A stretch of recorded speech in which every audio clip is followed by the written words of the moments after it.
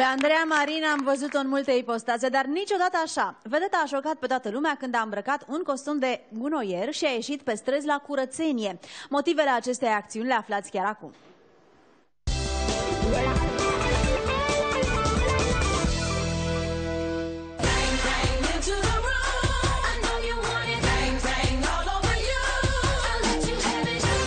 Vorba de curățenie, e curățenie în viețile noastre. Andreea Marin face curățenie printre bucureșteni. Alături de o firmă de reciclare care poate fi chemată printr-o aplicație de pe telefon, vedeta a mers acasă la cei care au vrut să arunce gunoiul în mod ecologic.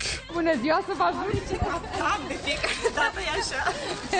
nu e de fiecare dată așa. Sunt alături de colegii mei din presă care vor să vadă cum se întâmplă atunci când apeși pe buton și când uh, chem reciclarea la tine acasă gratuit. Cheamă colectarea la tine acasă, pentru început în București, dar va fi în toată țara acest serviciu.